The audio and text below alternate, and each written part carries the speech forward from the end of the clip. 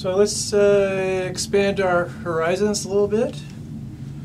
We know how to compute the probability an observation is below.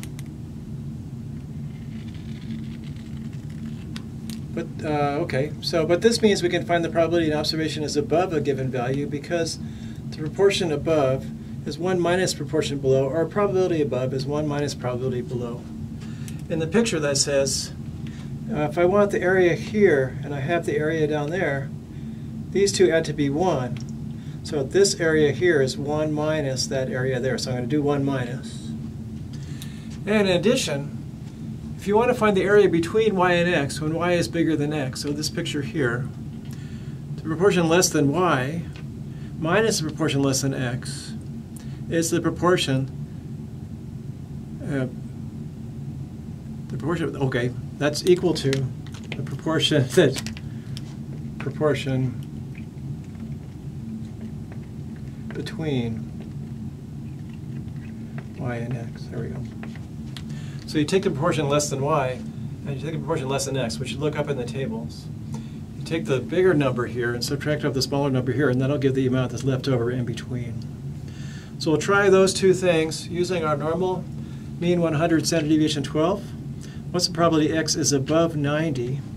So we already did that, but I'm just going to use the z-values just for fun. So um, I'm going to look up, sorry, I'm going to look up minus um, 0.83 which we did, 2033. So I'll get 1 minus 0.2033. Okay, and that's a 7967. I'll double check that.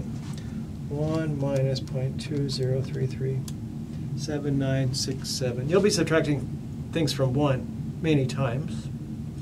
And then with 90 and 75, so it'll be like uh, 75 is here and 90 is there.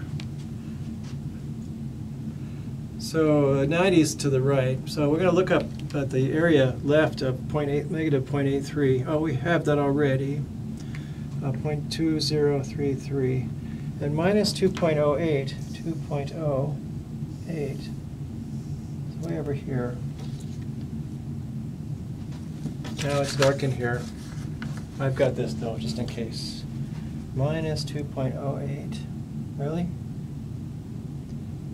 Difficult. Minus 2.08 is over there. 0188. So dark. I should turn the lights on, but I'm not doing it. Uh, 0188.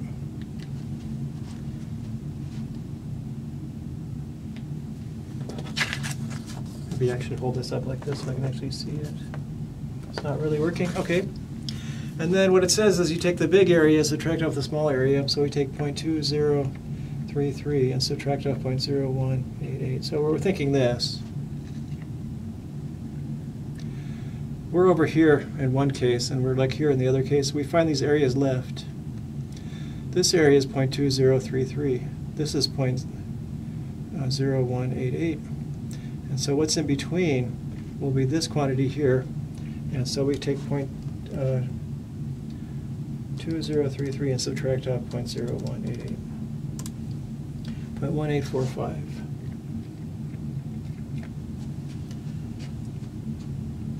So above is 1 minus.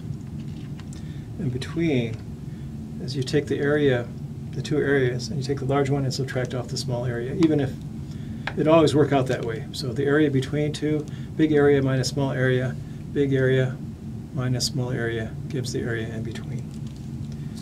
All right, did that.